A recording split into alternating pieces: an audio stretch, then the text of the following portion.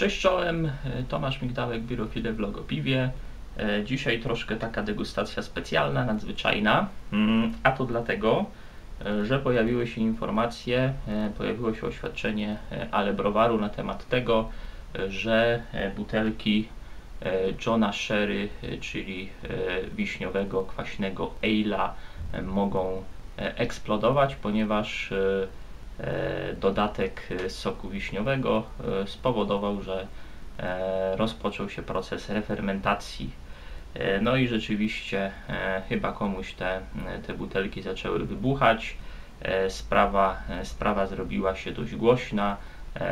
Tutaj duże podziękowania się należą Koperowi za to, że nagłośnił tę sprawę, że powiedział o tym. Dzięki temu do sporej liczby ludzi udało się dotrzeć e, z tą e, ważną przecież e, informacją. E, Ja też e, nabyłem Johna Sherry i e, trzymałem go beztrosko w temperaturze pokojowej, e, nieświadomy e, tego, co się może stać. Chociaż jakbym się zastanowił bardziej, to wziąłbym pod uwagę to, że piwo jest niepasteryzowane, niefiltrowane, bo mamy taką adnotację na butelce. E, No i że różne rzeczy się mogą e, z nim dziać. No ale mm, nie pomyślałem, pewnie wielu innych też nie pomyślało, e, więc e, trzeba było e, pod wpływem tych informacji granat rozbroić. Granat został rozbrojony, no i wyszła z tego przy okazji degustacja po prostu Johna Sherry, no bo dlaczego nie? Zacznijmy od butelki, która jest świetna.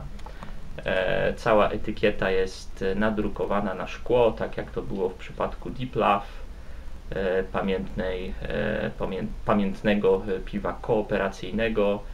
E, No świetnie, po prostu świetnie to wygląda, świetny design. Te infografiki trochę, takie trochę są kontrowersyjne, zdecydowanie lepiej e, wyglądają te zaprojektowane dla doktora Bru, ale generalnie e, sama koncepcja etykiety, jej wygląd, sposób wykonania stoi naprawdę e, na wysokim poziomie. E, Przechodząc do piwa.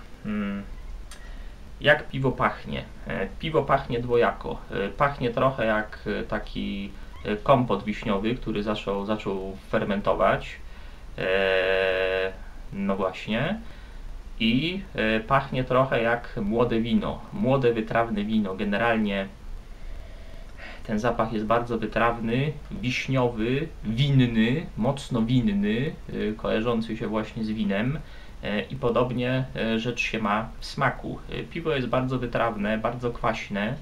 Nie ma tutaj w zasadzie żadnej, żadnej słodyczy, nie ma też goryczki żadnej chmielowej, absolutnie. Jest natomiast sporo takiej wiśniowej, owocowej cierpkości, kwaśności.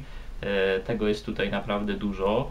Czuć wiśnie, mm, nie czuć żadnych typowo piwnych akcentów. Pijąc, pijąc to piwo, mamy wrażenie, jakbyśmy pili gazowane, wytrawne wino.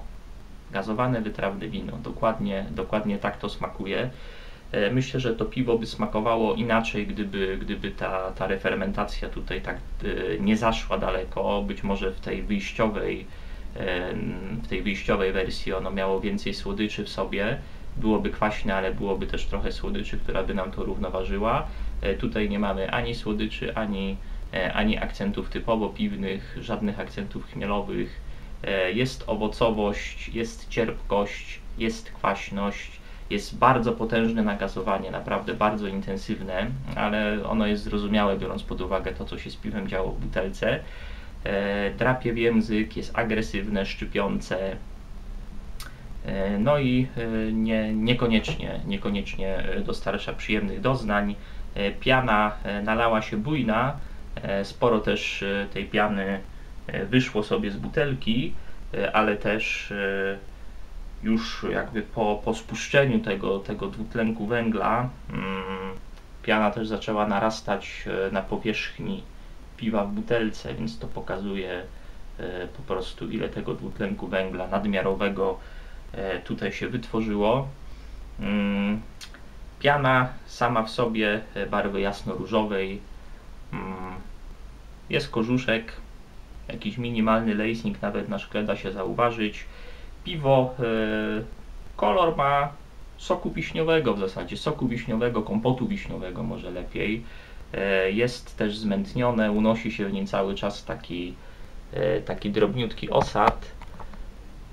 Wizualnie, wizualnie wygląda fajnie, ładne piwo, mm, no ale co z tego, skoro e, zadziały się z nim pewne rzeczy, które się nie powinny zadziać. Więc e, tak to wygląda, jeżeli chodzi o Johna Sherry. E, myślę, że w takiej no, bardziej przewidywalnej wersji, e, może pasteryzowanej, mm, to piwo byłoby e, lepsze, e, ciekawsze i na pewno nie dostarczyłoby piwoszom tylu nadmiarowych, zbędnych wrażeń.